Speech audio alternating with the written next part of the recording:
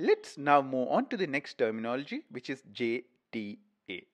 JTA stands for Java Transaction API. First thing, what is a transaction? Let's take a simple example. Let's say I'm transferring some amount from my account to my friend's account. Typically, these kind of things involve two steps, right? First thing is the amount has to be directed from my account and the uh, amount has to be put into my friend's account.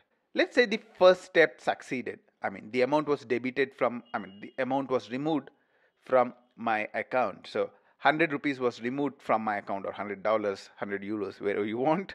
So 100 was removed from my account. But while putting the amount into my friend's account, there was a problem. What should the system do? The system should also revert the earlier change. So whatever 100 was withdrawn from my system, I mean from my account, has to be put back. Otherwise, 100 is removed from my account, but 100 is not really put into my friend's account. And this is an inconsistent state. Transactions prevent a system being in an inconsistent state.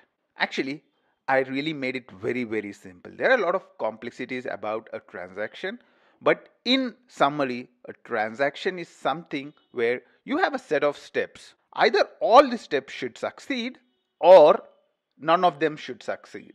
That's basically what you can think of as a transaction. In Java EE, the JTA provides an API where you can say these are the different steps in the transaction. So you would say this is the boundary of the transaction. So these are the different things which are part of a transaction. So if any of them succeed, I mean, if any of them fail, then revert all the previous ones.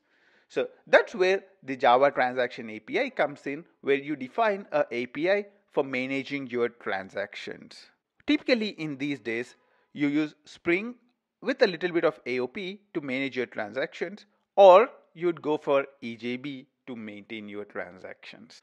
EJBs are really a good bet when you have a lot of distributed systems being part of a single transaction. Thanks for joining more than a million students who are learning from us. At In 28 Minutes, we defined a learning roadmap for Java and front-end developers. We created more than 25 courses covering all the topics that you are seeing on the screen. There are four things you can do to make best use of these courses. Number one is Udemy. You'll find a link in the description of the video to our Udemy profile. We are teaching a lot of courses on Udemy and most of them are free. Number two, visit our website www.in28minutes.com. You'd find tons of information including how you can register for our trainings and the link to Udemy and our GitHub code as well. Number three, visit our GitHub repository. With more than 20 repositories covering varied examples, it's a comprehensive source of information and code. Last but not the least, you'll find a set of discount codes for all our Udemy courses in the description as well.